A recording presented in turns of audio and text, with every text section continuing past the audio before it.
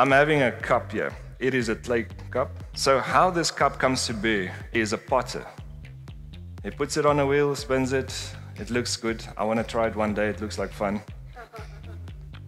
But he shapes it until the desired image that he has in mind comes out. But the clay, in its raw form, cannot be used. It needs to be placed in a oven. It needs to be baked. It needs to be finished off with this nice covering that it has and put some flowers on for all the ladies. But as long as this cup does not go through the process, it cannot have the function in which it was created for.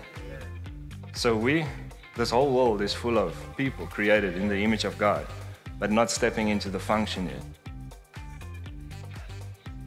There is a mystery within that unlocks the door.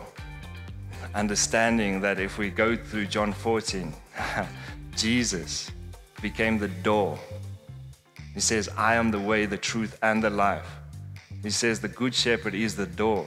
He opened the door to the house of God. So in his house, there are many rooms, and we are not bound to one specific room.